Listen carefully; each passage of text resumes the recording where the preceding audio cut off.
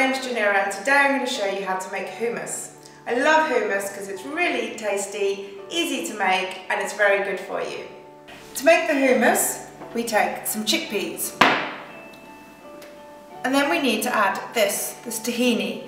A lot of people don't add the tahini but this is what makes it nutty and creamy and gives it the proper Middle Eastern flavour.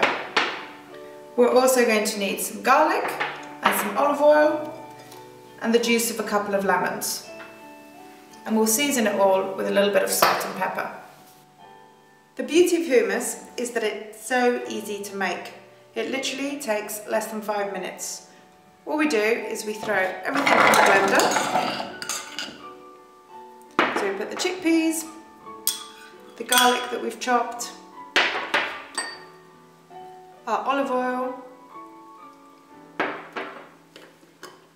the tahini Use about a tablespoon of tahini. Put that in there. And then our lemon juice. A little bit of salt. And we're ready to blend.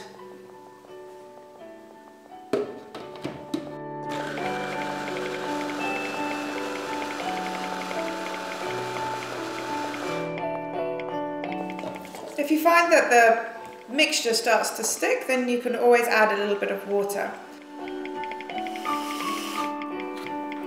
So we see here, here we have the finished hummus. I like it quite rough, but you're, you can blend it more, add more water, and that will make it lighter and fluffier. And here we have our lovely hummus. And we're just going to top it off with a little bit of paprika. And then we have some carrot crudités. Let's have a little taste. Mmm. If you like this video, please like it and share it with your friends so that they can cook you lots of tasty food. If you'd like more quick and easy recipes that taste amazing and are really good for you, then subscribe to this channel.